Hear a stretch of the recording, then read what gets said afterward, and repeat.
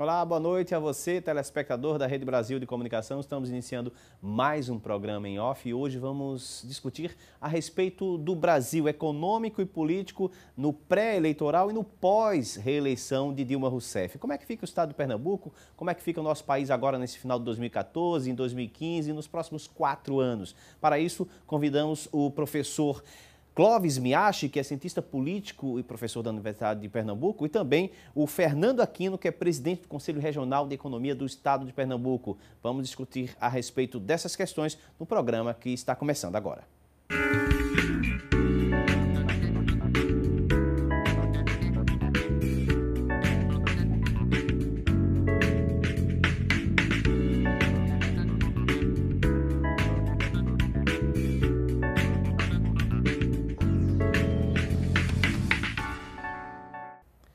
Professor Clóvis Miachi, professor Fernando Aquino. A gente agradece ao convite dos senhores à nossa produção, uma boa noite. Bom, eu perguntaria inicialmente o seguinte: nós estávamos antes das eleições com aquela especulação toda, olha, a economia não vai ficar legal, enfim, o dólar subindo, as bolsas caindo, e as eleições passaram e agora parece que o mercado está se acalmando um pouco mais. Inicialmente, professor Miacho, isso foi por conta da questão política também, a especulação política? É, boa noite. Boa noite. Sim, é porque a política ela trabalha também com, com, com imaginário. Então, quem ganha é o candidato Aécio ou o candidato Dilma? Dependendo exemplo, da pesquisa, então o mercado reage de uma forma. Porque o mercado é especulativo. Então, ele especula mais se Dilma estiver tiver na frente ou especula menos se a Aécio estiver na frente. Então, a tendência é essa. E por que isso acontece na economia? Sempre ah, nos momentos anteriores à eleição, às eleições, nós temos esse quadro de incerteza, de instabilidade, e, e depois a, a, coisa vai se acalmando. Olha, nesses é, momentos críticos é, na política, de, de, incerteza com relação ao futuro, a gente tem essa, essa, essa, essa, essa agitação dos, dos, investidores e dos especuladores. Né? Então, é, tivemos é, em 2002, com a eleição de Lula, né, que ele estava melhor nas pesquisas, então a incerteza em relação ao governo do PT, de Lula, era muito grande, muito forte. Então, naquele momento, realmente, os investidores eles estavam muito avessos ao risco do que iria acontecer com suas aplicações, com seus ativos, num governo do PT. É, dessa vez, é, o movimento foi muito mais é, especulativo de que de, de, de, incerteza ou de, ou de temor do próximo governo, uma vez que era um, uma reeleição de Dilma ou a eleição do, do candidato Aécio, que era um candidato do PSDB. Então foi muito mais é, um, um, movimento especulativo, onde é, é, é alguns, alguns é, né, traders do mercado eles, eles procuram ganhar, ganhar nesse, nesse, nessa, nessa volatilidade dos, dos ativos, do preço do dólar, do preço das ações, do que propriamente um temor generalizado dos investidores. Essa especulação ela é natural em qualquer governo, em qualquer eleição, ou é porque nós tínhamos um governo e, e, esse governo eh, vai continuar mais à esquerda e um outro mais tido como centro-direita, enfim, independe disso ou em, é, em, qualquer governo isso pode acontecer? Quer dizer, nesse, nessa eleição se especulou mais porque, por exemplo, ele estava polarizado. Então, por exemplo, com, com o governo de Dilma, os três, três anos e meio do governo de Dilma, ele, ele, ele, ele demonstrou ao mercado, entendeu, a situação, demonstrou uma situação. E agora, por exemplo, nós, nós, nós tínhamos um candidato, por exemplo, que estava é, tava mais voltado, por exemplo, a parte, a parte de estratégia econômica, voltado mais ao mercado. Então, isso, isso trouxe essa incerteza. E quando, quando, por exemplo, há uma certa incerteza, porque o mercado é especulativo, eu acredito que se A vencer, eu, eu, eu, eu, vou me dar bem. Se B vencer, eu não vou me dar tão bem. Então, é essa especulação. E, e a incerteza, que aí sim o mercado trabalha com muita incerteza também, mas a incerteza é interessante. Quando o mercado, eh, que, quando tem uma certa incerteza, você através de, de, de estatística, você pode controlar essa incerteza. Uhum. Eu quero deixar os dois bem livres, a qualquer momento uhum. alguém pode complementar, pode pedir a palavra, enfim. Mas uh, essa, essa questão, já era esperada? Eh, o, o mercado estava insatisfeito, por exemplo, com o governo Dilma e preferia Aécio? Agora a gente pode falar assim, né? Já passaram essas eleições. Era assim mesmo ou não? Olha, é, eu acho que esse, esse movimento do, do dólar, das ações que a gente é, observou, é muito mais algumas pessoas querendo aproveitar da conjuntura para tentar comprar na baixa e, e vender na alta. Uhum. Né? Eu acho que expressou muito mais isso do que um, um, um pânico generalizado, porque o, o, governo Dilma ele já está há quatro anos. Né? O governo Aécio também é um governo que, de, de um, de um, de um é, anterior, né, lá do uhum. Fernando Henrique, né, de um grupo anterior. Quer dizer, não, não, não havia motivos, é, na minha opinião, é, reais para tanto temor por Dilma por Aécio. Então, foi muito é, é, de pessoas tentando se aproveitar para gerar volatilidade e ganhar dinheiro dessa forma. O senhor concorda com isso? Concordo, concordo. Porque se, se, se, se nós construirmos um cenário, Brasil de ontem, Brasil de, oito, Brasil de hoje e Brasil de amanhã. O Brasil de ontem, que foi muito resgatado pelo, pelo por Dilma, né? por exemplo, na época do FHC, na época do FHC, né? E o Brasil de hoje não, o Brasil de hoje é o Brasil do governo de Dilma. Então, claro que o mercado tem uma, tem, um, tem uma, tem uma análise a respeito, exemplo, do crescimento do PIB, do crescimento da inflação. E ele, o mercado atua nessa, nessa banda. E o Brasil de amanhã? Então, o que, que é que os candidatos estavam prometendo para o amanhã? Como os anos se acirraram, ficaram no nível pessoal, então não deu para nós, por exemplo, é, é, analisarmos, entendeu? Qual era, qual era, qual era uh, o programa, por exemplo, do Brasil de amanhã de de Aécio ou de Dilma. Nós só vimos exemplo, eh, programas sociais. Eu, vou continuar com a Bolsa Família, por exemplo, é, eu ao contrário, por exemplo, eu vou, eu vou é, é, dar independência ao Banco Central, por exemplo, eu vou, eu vou criar creches, mais tantas creches, eu vou, eu vou fortalecer, por exemplo, o programa Mais Médico. Então ficou no, no, no, no micro do dia a dia.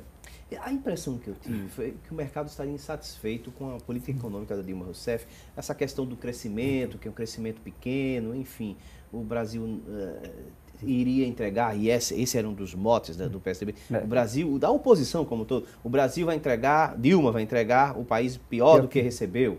Isso não aconteceu com Lula lá atrás, porque Lula deixava um, um Banco Central mais, um ministro mais independente, um, um, sistema financeiro mais independente, e a Dilma não, estava mais no controle. Não se passou essa impressão de que o mercado é, estava especulando em favor do, do PSDB, do, do, do, governo do Aécio Neves, ou não? Ou, ou eu, eu, estou equivocado?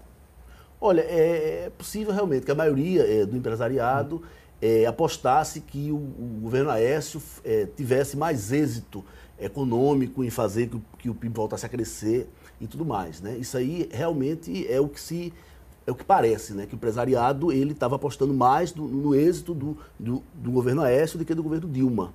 Né? Mas assim, o que, o que ocorre é que a gente vinha crescendo é, baseado no consumo das famílias. Era o motor que vinha é, fazendo a economia crescer. Né? Quer dizer, se a gente só produz e consome, a, gente, a economia não cresce. A gente precisa de, de algo mais, de um motor para acelerar essa coisa. E o que vinha acelerando era o consumo das famílias, no sentido de que é, as famílias vinham melhorando o rendimento, o emprego vinha subindo, o consumo delas aumentando e o lado da oferta respondendo, havendo investimentos e havendo aumento de oferta. Tá? Isso é, na verdade, é, o, o, pessoal do PT ele, ele tenta é, marcar território como se se isso fosse como se tivesse começado com o governo do PT. Na verdade, isso começou com um plano real. Tá? Então, quando você é, consegue controlar a inflação, o poder de compra dos rendimentos do trabalho e todos os rendimentos se preserva muito mais. E houve uma explosão do crédito ao consumidor naquela época. Então a gente teve já esse crescimento baseado no consumo das famílias desde lá do, do plano real. Com a entrada de Lula, você teve melhorias ainda mais significativas no salário mínimo, teve políticas assistenciais mais amplas, teve mais benefício previdenciário, teve mais crédito, microcrédito, Pronaf, é, é, crédito consignado. Então, a gente teve uma intensificação dessa, desses ganhos de rendimento e de ganhos de emprego, mas vem desde lá de trás. Né? A gente uhum. precisa acreditar isso também ao governo anterior do Fernando Henrique. Veio num ritmo bom que se intensificou a partir do governo Lula. Só que essa coisa de aumentar rendimento, aumentar rendimento, é, as empresas elas vão absorvendo, é, reduzindo margens, aumentando produtividade, sendo mais eficientes, mas chega um ponto que elas não conseguem mais é, é, é, absorver esses aumentos de, de, salário. Então, elas começam a repassar nos preços. Então, você começa a ter uma, uma, uma pressão de preços dessa política. Quer dizer, você tem um esgotamento desse modelo de crescer aumentando os rendimentos. Isso tem um limite, porque né, as empresas chegam a um ponto que elas não conseguem mais manter os preços, aí precisam repassar. Então, aí você começa a ter inflação, e se você não vinha com um nível de investimento realmente forte, aí você começa a surgir a estagnação da economia. Então, você começa a ter pressão inflacionária e a atividade econômica começa a se estagnar. Então, a partir daí, você tem que, que de alguma forma, estimular e conseguir com que o nível de investimento da economia aumente. Então, esse é o grande desafio do governo Dilma ou seria do governo Aécio. Uhum. Então, é, é, a gente precisa, é, o governo precisa achar uma forma de dinamizar os investimentos da economia. E ao que parece, a Dilma Rousseff está procurando achar essa fórmula uhum. através da pessoa que ela vai conhecer, é. ou das pessoas que ela vai é, definir para uh, o próximo Ministério da, da, Fazenda, por exemplo, o Banco Central. Ela está na Bahia, quando voltar, uhum. vai ter que anunciar alguém. É, certamente essas férias é, rápidas é, na Bahia não são tão sossegadas não assim. Ela deve estar pensando um bocado, né? Dizer, o que é interessante, o que o Fernando Aquino disse, é, o povo interpretou da seguinte forma: o Brasil deixou de melhorar. É interessante, por exemplo, a, a, o, o, o, Fernando Aquino, por exemplo, colocou então, de forma técnica o, o, que, o, que, o que aconteceu. Aí o povo, ele sente, por exemplo, a interpretação do povo, que nós fizemos uma pesquisa, então o termo que o povo, a população usava, o Brasil deixou de melhorar. Então, Aí agora, Dilma interpretando essa, essa frase, o Brasil deixou de melhorar, ela vai ter que melhorar, porque se continuar do jeito que está é impossível. Economicamente e, é, e financeiramente é impossível. Ela tem que tomar alguma medida.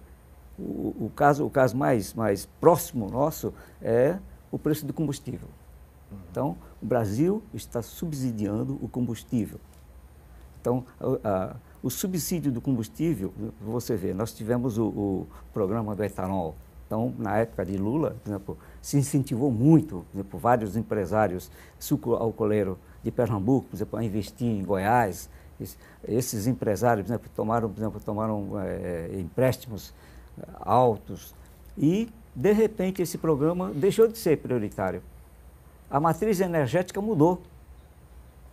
E o, e o, e o, e o preço do combustível ela está ela, ela tá, ela tá represado desde praticamente um ano, um ano e pouco. Por quê? Porque o pessoal de etanol está reclamando muito que, segundo eles, a gasolina estaria meio que maquiada. Tá, é. O preço estaria meio que maquiado. E o etanol não está acompanhando essa questão. Né? Então, está reclamando essa questão. Agora em novembro pode ter esse então, aumento, né? Esse, esse é o caso que, que nos atinge é, no dia a dia. Se, se agora, em novembro, a Dilma, por exemplo, aumentar o combustível, então nós já vamos sofrer na pele. O caso tipo, também um outro caso é da, da, da, conta de luz. Agora o senhor falou, o Brasil deixou de, de melhorar, melhorar, que teria sido o questionamento principal. Na opinião dos senhores, por que o Brasil deixou de melhorar? O que é que o governo Dilma poderia ter feito para nos, nos, chegarmos ao final com o crescimento praticamente zero? Olha, é... claro que durante esses anos todos houve investimentos e a economia, é, a, a capacidade produtiva da, da economia cresceu mas ela precisaria ter ocorrido no nível maior, tá? no nível mais alto. E o que, o que faltou, uma das coisas é, principais que faltou foi, na minha opinião, investimentos em infraestrutura. Investimento público ou em parceria público-privada, que seja, é, concessão ao setor privado ou o próprio governo fazendo. Quer dizer, a fonte de financiamento não, não, não vem ao caso. O que vem ao caso é a gente, é, o governo ter criado mais estradas, e investido mais em estradas, em escolas, em aeroportos, em portos e toda essa, essa infraestrutura em, em malha ferroviária, né? porque isso aí viabiliza investimentos privados, né? É, é, ele atrai. Então, quando a gente melhora a infraestrutura, um projeto de investimento que não era viável uma, passa a ter uma facilidade maior em função de uma estrada que está passando junto, ou de um porto melhor, né? ou de um aeroporto melhor. Então, é, aquele investimento que não era viável passa a ser viável com esses investimentos em infraestrutura. Então, é, mas se formos dizer isso para o governo Dilma, o pessoal vai dizer, não, mas nós temos muitas obras aí em andamento, temos a transposição, a transnordestina, uh, enfim, uma série de, de, Não, o governo ele investiu em infraestrutura, mas precisava ter investido mais uhum. e com mais rapidez. Então, essas obras que você citou, né, de, de transposição, de transnordestinas, estão atrasadas. Uhum. Então, a gente precisa... É, é, e é, ela foi eleita em 2010 como a senhora do PAC. Né? Então, quem ia é, é, vencer mundos e fundos e conseguir fazer aquele projeto de aceleração de crescimento, todas aquelas obras de infraestrutura. E, de fato, ela, por algumas razões, não conseguiu. É, por dificuldades institucionais, restrições institucionais, ou dificuldades políticas de, de, de conseguir passar as coisas, dificuldades administrativas, o que seja. Então, o fato é que se ela tivesse conseguido é, é, alavancar mais essas obras de infraestruturas, certamente a gente tinha conseguido atrair mais investimentos, mais investimentos privados que iriam se beneficiar dessas obras de infraestrutura. E a gente teria crescido mais e estaria mais habilitado a continuar crescendo mais. Então, esse investimento de infraestrutura não foi suficiente para que a gente continuasse no ritmo de crescimento que a gente deseja. Concorda, professor? Concordo. E, e vamos, ter, vamos, vamos tirar como exemplo o próprio Pernambuco. O investimento em, em Pernambuco, principalmente na, no, na região de, de Pojuca, Suape, foi muito grande. Então, você vê que o crescimento do PIB pernambucano, ele é diferenciado do crescimento do PIB de outros estados. E do Brasil. Então, do Brasil. Então, você vê que quando há investimento em infraestrutura, há, há, um, há um crescimento, por exemplo, econômico da região. Então, isso é importante. Então, o que aqui não está falando é, é, é verdadeiro. Essa, é, esse governo, por exemplo, ele não investiu em infraestrutura. Então, como é que nós podemos crescer? Como é que a agricultura pode crescer se não tem infraestrutura para, para, para, para, para transporte?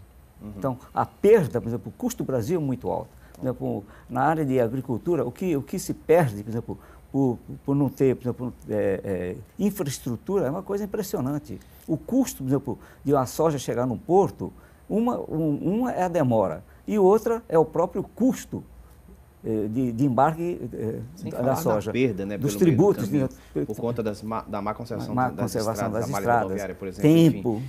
Mas a gente vai continuar eh, discutindo a respeito desse assunto daqui a pouquinho, no segundo bloco do programa em off de hoje.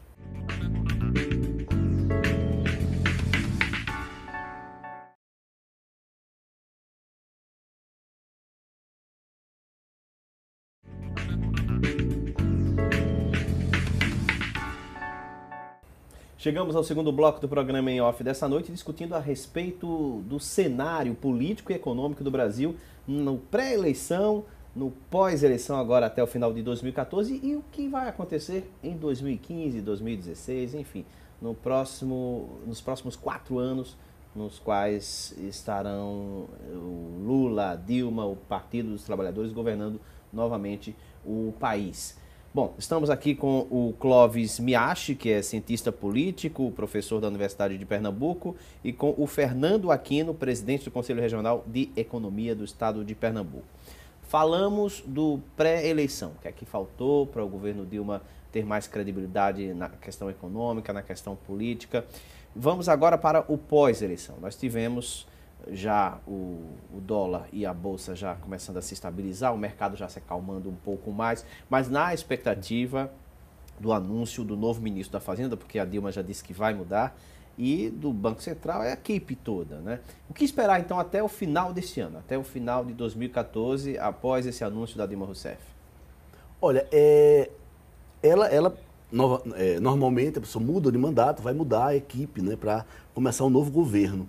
E esse resultado da eleição muito acirrado mostra um, que muita gente não está concordando com o governo Dilma.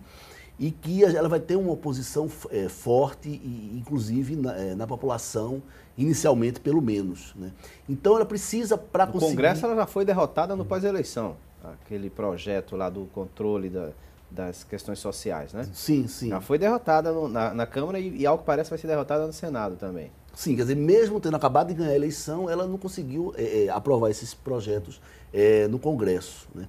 Então, é, a ideia é ela tentar unir, tentar conciliar. Ela precisa disso. Ela não tem um, um apoio tão majoritário assim na população, nem entre os políticos. Então, ela precisa conciliar, precisa fazer algumas concessões, então precisa mudar a equipe de forma a sinalizar algumas coisas.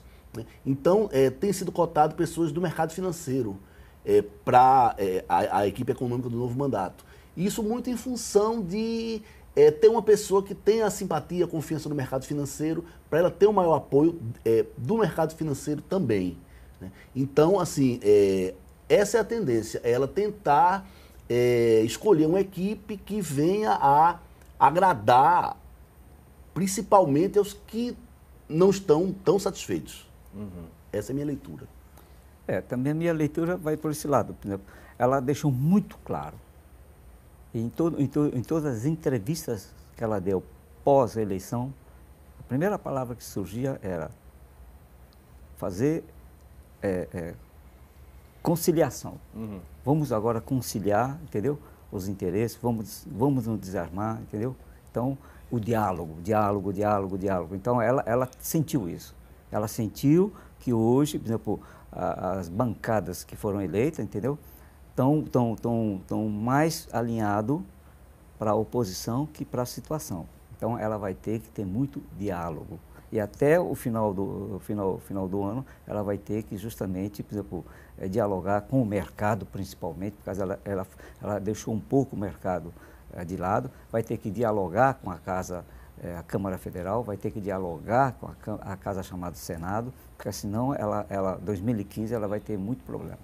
Existe uma dúvida muito grande em relação quando ela anunciar o novo ministro da Fazenda e a equipe econômica, o pessoal do Banco Central, em relação a se ela vai escolher alguém do mercado, como o senhor falava, hum.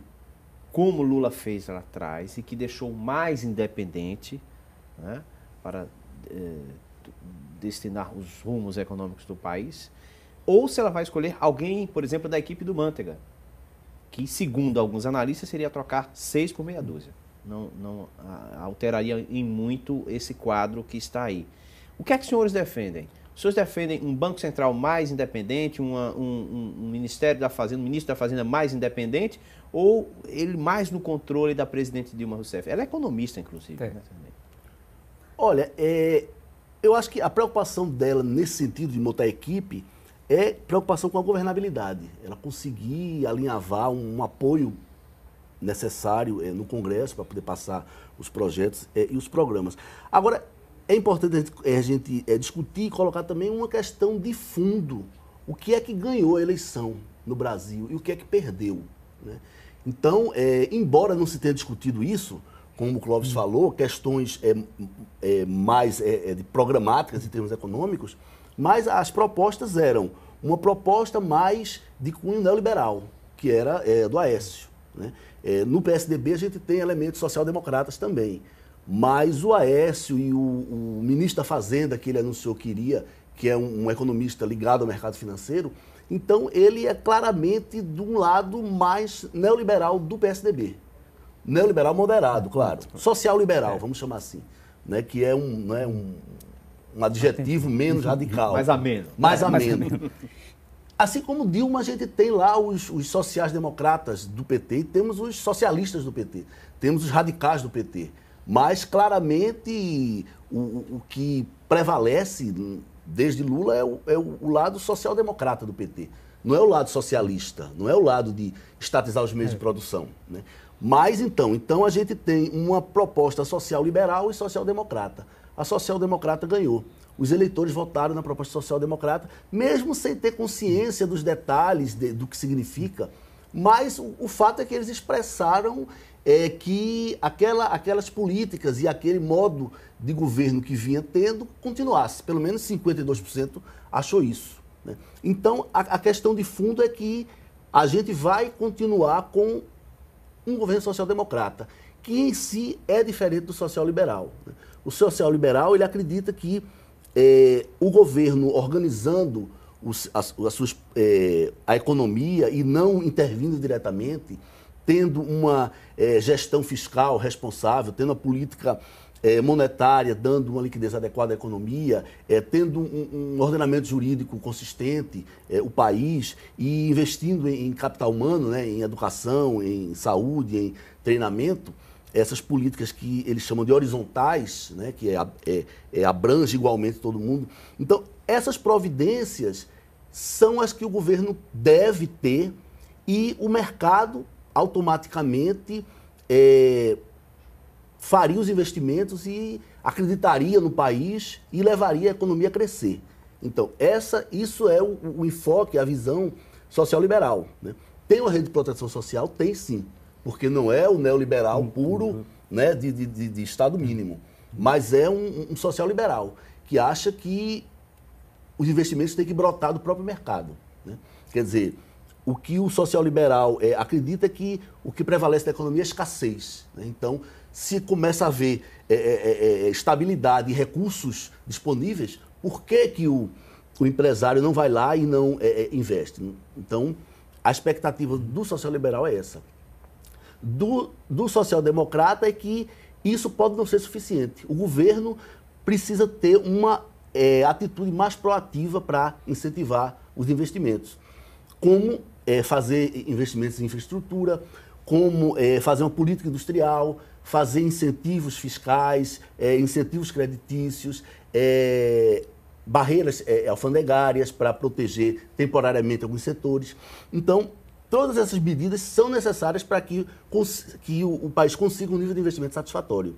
Então, a proposta que ganhou foi a proposta nesse sentido. E certamente que vai continuar nessa linha de do governo incentivar. Né? Então, o que, o que as pessoas é, que acreditam na linha social-democrata é, é, percebem ou acreditam, que é muito questão de crença, é que essa coisa de investir no setor produtivo é uma coisa muito arriscada. Então, é, é difícil você, que, que tem é, os recursos, sair lá das suas aplicações financeiras para poder investir num projeto do setor real. Por melhor que pareça ser, porque as coisas mudam rapidamente. Os consumidores mudam as preferências, pode entrar um concorrente no mercado, é, a política econômica pode mudar, pode abrir a economia e entrar um concorrente externo forte. Então, existem mil coisas que podem acontecer para arruinar aquele projeto de investimento do setor real. Uhum. Então, para o, o, empresário ele se é, é, é, animar a fazer investimento, o governo precisa dar um incentivo a mais, precisa é, ter uma política mais proativa. Então, é, foi essa proposta, foi essa visão que ganhou as eleições. Então, é, se isso não funcionou bem, não quer dizer que a gente vá largar a mão dessa atuação é, do, do, governo para incentivar os investimentos. Então, você defende uma, uma, uma, coisa mais controlada pela presidente, pela equipe econômica, mas do jeito que, que está hoje aí? Veja, é, eu acho assim que os bancos públicos, BNDES, eles tinham um, um, um montante grande de crédito disponível para empréstimo a juros baixos, juros subsidiados. É, só que era, era muito, é, de uma forma muito passiva.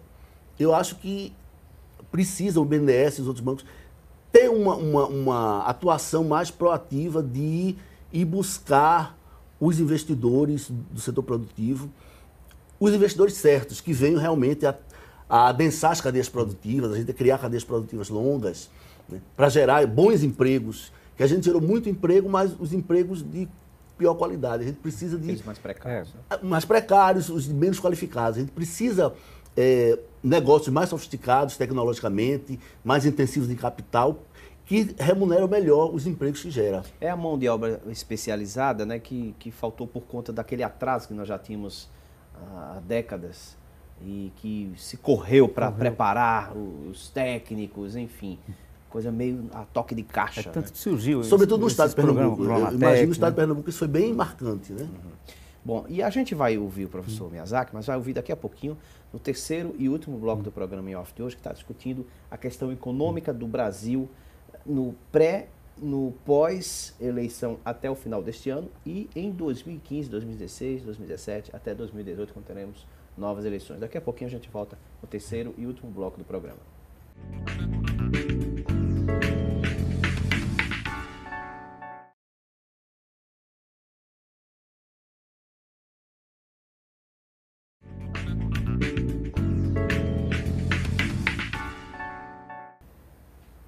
Chegamos ao terceiro e último bloco do programa em off dessa noite, discutindo a respeito dos rumos da economia no pós-eleição Dilma Rousseff.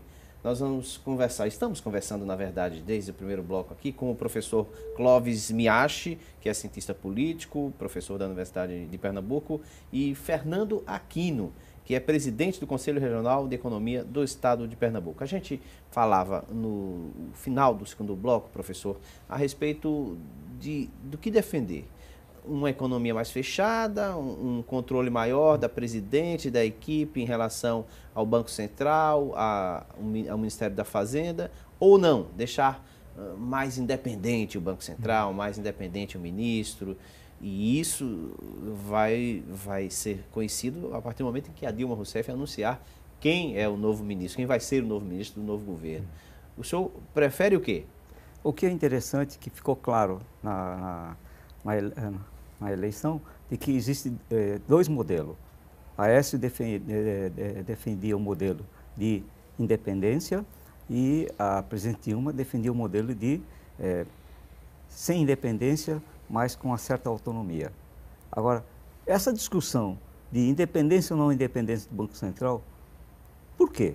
Então está muito claro que nós somos a sétima economia do mundo, então o país é um país rico, tem recurso, e como vai ser essa distribuição?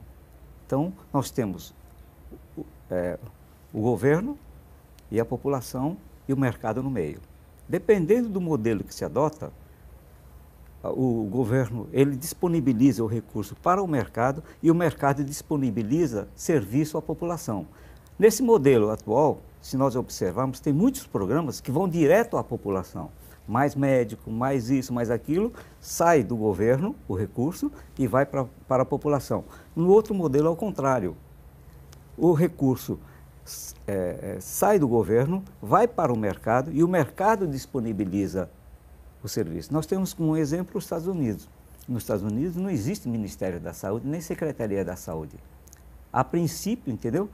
É o mercado que, que, que, que disponibiliza esse, esse, serviço de saúde à população. Nós, aí fica aquele modelo. É um modelo mais desenvolvimentista ou, é, ou o governo é um modelo mais é, social, ligado mais a, ao bem-estar social? Então, essa discussão. Agora, outra discussão que se faz é: o presidente do, do Banco Central, ele influencia a instituição chamada Banco Central ou a instituição chamada Banco Central influencia o, o, presidente. Então, nós temos um caso típico de Henrique Meirelles. Então, deu a entender claramente que Henrique Meirelles, no, na gestão dele, era uma pessoa muito autônoma. E o mercado viu esse lado. No governo Lula. No governo Lula. Hum.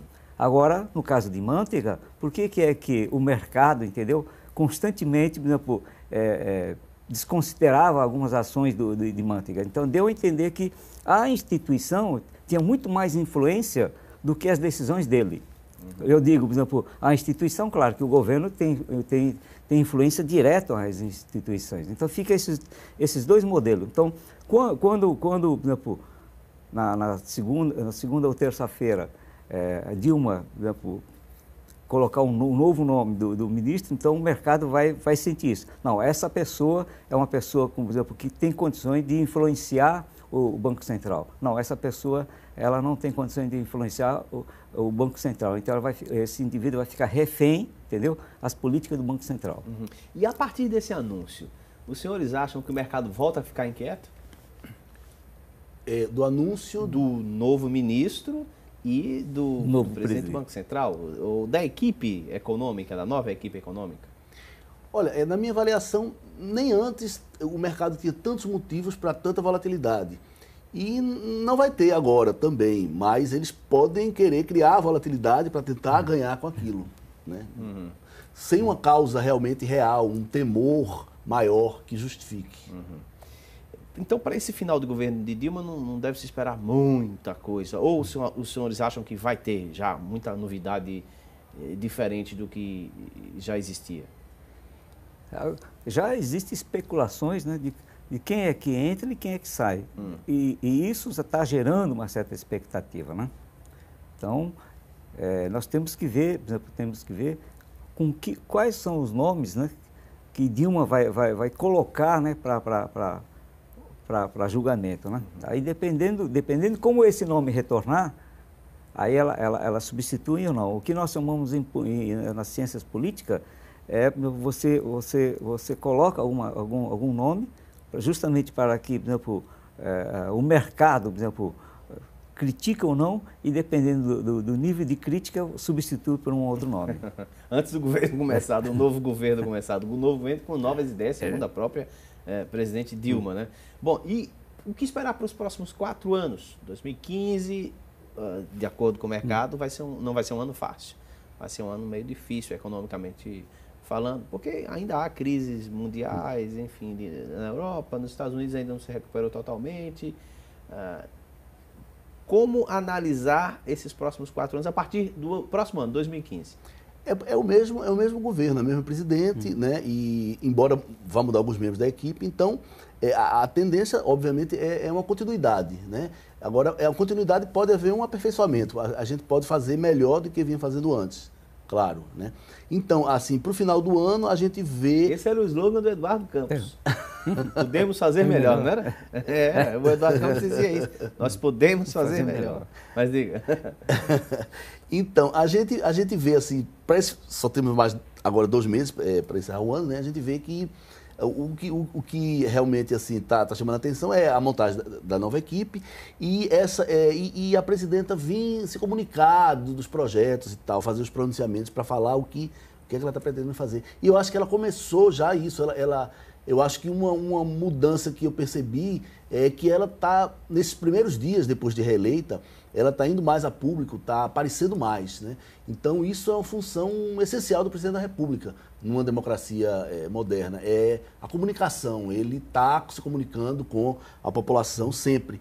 E nisso aí, eu acho que no primeiro governo dela, ela foi bastante fraca, no sentido de ir a público para comunicar o que estava acontecendo, o que pretendia fazer ela fazia isso muito pouco, ao contrário de, de Lula, por exemplo, no governo dele. Né? Então é possível que ela acerte nisso agora, de ter esse papel de, de, de, de, mostrar uma liderança, de mostrar é, os projetos e as pretensões. É, é, talvez ela esteja começando a sinalizar isso. É, e ela realmente está sinalizando isso. Coisa interessante, no sistema presidencialista, é, quem se elege, ele é o presidente, ele é, é o, o, governante e também o, o presidente do, do, do, do, Estado e presidente do governo. Né? Uhum. Então, o que ela fez na, na, primeira gestão, com aquele, aquele, aquela imagem de é, gerentona, então ela, ela esqueceu que ela também é presidente de um país chamado Brasil, diferente de Lula. Lula viajou muito, entendeu? Lula teve contato com, com com o mercado, com a sociedade, e ela não fez isso. Então, uhum. tem, tem que, ela, ela agora parece que ela está tá mais consciente do papel dela, entendeu? Como, como governante e como presidente de um país também. O senhor falou uma coisa interessante, existe uma diferença entre Estado, Estado e, e, governo. governo. É. Né? É, é, e o presidencialismo, o, o, o, indivíduo que é eleito, ele é eleito presidente do Estado e presidente do governo também. Né? Uhum. Então, por isso que, por exemplo, fica essa a, a, a força que o presidente de um país tem hum. em relação aos, aos, outros países que, por exemplo, no caso do presidencialismo, o presidente ele representa o Estado, né? então as, os contatos externos, né? e internamente tem o primeiro-ministro que governa né? o, o país, né? Uhum. Então, Bom, e o Estado de Pernambuco, hein? O que esperar para esses próximos anos? Algumas pessoas falavam, ah, a Dilma ganhou, o PSB aqui apoiou o Aécio Neves, as torneiras já estavam fechadas desde que o Eduardo Campos havia anunciado a candidatura à presidência, se colocou na oposição, então o dinheiro, as verbas federais não estão chegando como deveriam chegar. Aí o PT disse, por outro lado, não, está chegando, tem algumas dificuldades, mas as dificuldades estão tá, tá passando no país todo, está chegando, vai continuar chegando. Dilma Rousseff vai vai honrar os votos que recebeu no estado de Pernambuco. O que é que os senhores esperam nessa questão para o estado de Pernambuco? Essas verbas federais, elas vão continuar chegando como vinham antes ou não? Eu imagino que a tendência é a gente haver uma aproximação do governo do estado, que fez, apoiou o candidato da oposição, haver uma, uma reaproximação com o governo federal. E eu não espero que o governo federal vá penalizar o estado por essa questão. Agora, o que é possível que ela faça é procurar marcar mais território. Diz, olha, essa obra é financiada pelo governo federal, essa obra é do governo federal. Para depois, politicamente, o governador não estar tá citando aquela obra como um benefício que ele fez para o Estado e tal. Então, pode haver essa, essa preocupação de identificar quem está que tá fazendo o quê, né? para que lá nas outras campanhas né, ela possa mostrar o que fez ela e o governador fez o que ele fez, né? já que estão agora né, em, em polos opostos, embora possa haver uma, uma reaproximação. É. O que é que o senhor acha, professor? É, eu também, aí, novamente, a, a, grande diferença. Citamos como um exemplo aqui, aqui na cidade de, de, de da região metropolitana, o arco metropolitano. Uns dizem que, por exemplo, é, o recurso para, para, para iniciar o arco metropolitano ele foi retido. Os outros falam que não, é em função da conjuntura econômica. Então, tem que estar muito, aí está muito claro. Se Dilma vai considerar é, o investimento para o, a construção do arco metropolitano de Recife como, por exemplo, é, recurso público do Brasil ou como recurso público da gestão do PT. Grande diferença. Por isso que tem que estar muito claro isso. Então, quando o Fernando Aquino diz, meu povo, é, faltou um, um, investimento, por exemplo, em infraestrutura, é justamente porque será que foi visto mais como governo de Dilma ou como o Estado brasileiro investindo ou o governo de, de Dilma investindo? Então, o arco metropolitano, vamos ver agora. Se os recursos forem liberados, então podemos dizer claramente que o Estado brasileiro está novamente investindo no estado de Pernambuco. Antes de ontem, sexta-feira, nós tivemos a informação de que o DENIT teria concluído o projeto, projeto. inclusive com a questão do impacto ambiental uhum. tal, para a primeira etapa, 75 quilômetros do arco metropolitano, e que a partir do dia 6 de janeiro de 2015 uhum. já poderia ser iniciada esta obra. Bom, vamos esperar para ver e ver para crer, né? Porque a gente já teve eh, muitos anúncios por aí de projetos que não, não saíram do papel um, um ainda. Um caso recente foi a inauguração da Via Mangue, né? Ficam ah. naquela dúvida, né? Se a presidente vinha para inaugurar ou se, seria inauguração sem ela, né? Agora, o fato, por exemplo, do arco metropolitano também in, estar incluindo aí uma multinacional, né? Que já está instalada aqui, talvez a pressão seja maior, talvez hum. Eh, seja é. mais fácil sair por conta dessa pressão, não só uma pressão governamental, política, Sim, mas, mas ah, na questão do mercado, do mercado, mercado. como um todo, né? mercado automotivo. Né? Porque isso foi prometido. De alguma é forma. Toda essa negociação para a instalação é, dessa empresa multinacional aqui em Goiânia, esse, esse arco metropolitano estava incluído, né? Quer dizer, uma forma de viabilizar o transporte. Por ali por dentro, por Abreu Lima, por, por, por aquela é, lá Paulista, aquela, aquela BR lá, é muito complicado, né? De você é, é, transportar o volume e o peso do, dos carros né, é, por ali. Então, é uma coisa que, quer dizer, é uma contrapartida que o Estado é, prometeu à multinacional para ela se instalar ali. Né? Então, temos que esperar que, que, que ocorra mesmo, né? Uhum. Porque, inclusive, para não atrapalhar o desenvolvimento de um polo automotivo que vai atrair, é, aquilo dali dando certo vai ser fantástico para o estado de Pernambuco e, e até para o estado vizinho da Paraíba. Né? Uhum. Então a gente tem várias é, empresas fornecedoras ali na, naquela área lá de, de, Goiânia. E você já vê muita empresa se instalando. Independente dessa, dessa questão da infraestrutura, se sai ou não sai, uh, os senhores acreditam que Pernambuco continua crescendo acima dos índices da região e do país como um todo, por conta do que já temos aqui. Temos em Poujuca, temos agora no Polo Novo em Goiânia. Os senhores acreditam que o estado de Pernambuco continua crescendo acima do Brasil? Olha, muitos projetos, dos grandes, eles ainda estavam em implantação, começaram a operar há pouco tempo, como a refinaria e a própria é, é, fábrica de automóveis. Né? Então, isso aí, outros já estavam operando, né? A, a, a parte do, do, do poliéster, do, do estaleiro, né? né? algumas indústrias é, alimentícias no interior do estado. É, e as outras é, tradicionais que a gente é, já tinha. Mas, assim, é, então, ela quando entrar a operar, ela vai transformar a estrutura industrial do Estado. Quer dizer, é, a gente vai obter um PIB maior. Né? O, o governo do Estado está calculando que essa automotiva vai aumentar em 6,5% o PIB. Quer dizer, você imaginar que uma empresa, né, uma planta industrial aumente 6,5% o PIB de um Estado. E quando ele fala isso, é só a, a, Fiat, no caso, ou a Fiat e as cerca, as cerca de 60 outras empresas que vão se instalar uh, ali em torno, no entorno? Não, é, a, o estudo foi só para a Fiat, quer dizer, uhum. os outros vão aumentar mais ainda, né? Uhum. Vão contribuir mais ainda para aumentar. Só a Fiat vai, vai aumentar Vai aumentar em 6,5%. Uhum.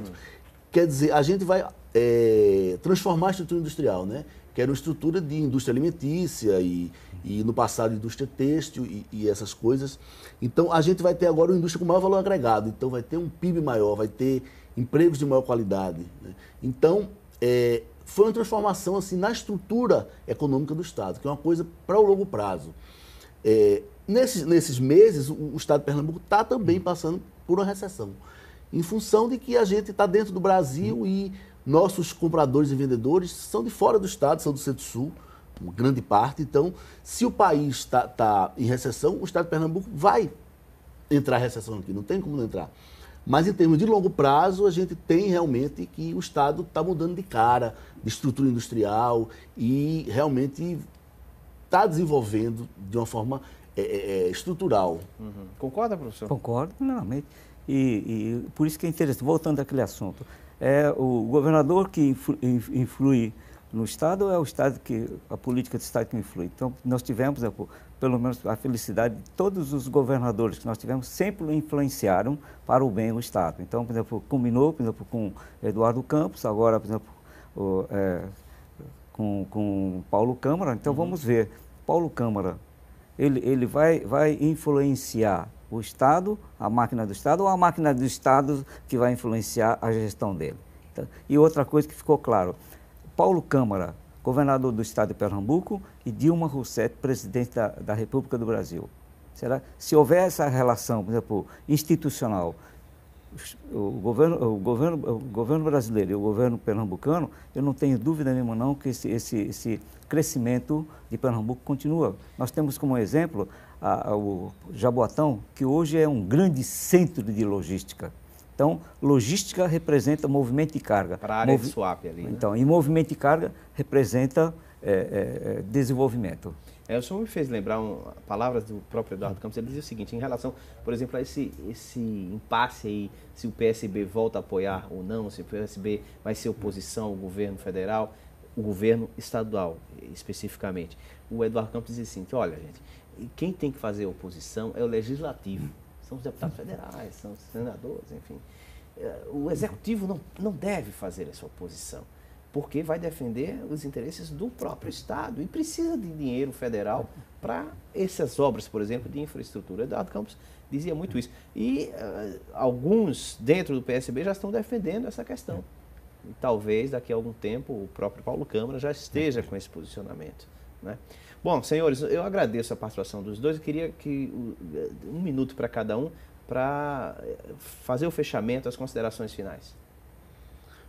Bem, é, Mário, obrigado pela oportunidade de a gente estar aqui conversando, obrigado à presença do Clóvis.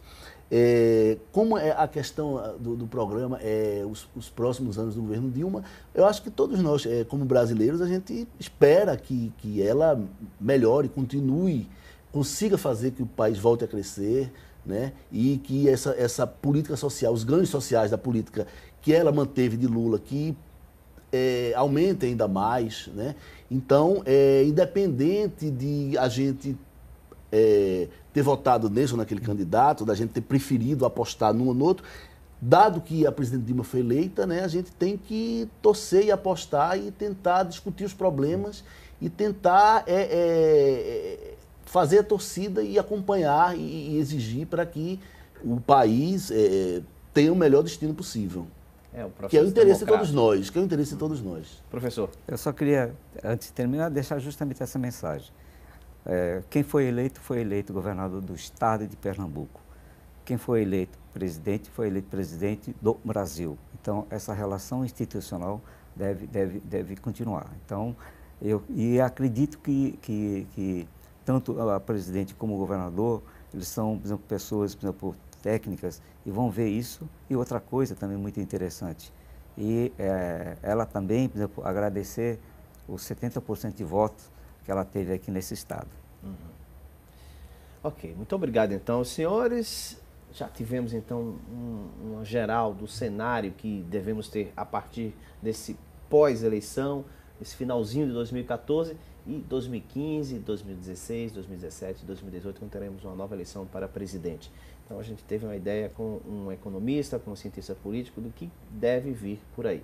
Na próxima semana teremos mais um programa em off. Um bom final de domingo, uma ótima semana e até o próximo domingo.